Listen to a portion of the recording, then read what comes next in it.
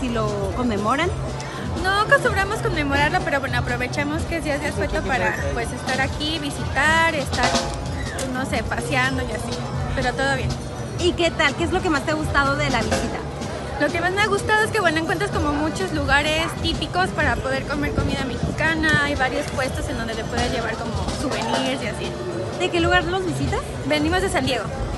¿Y eh, te vas a quedar más tiempo, nada más? No, nada más y ya nos regresamos en un ratito. ¿Cuál es tu nombre para registro? Vianey.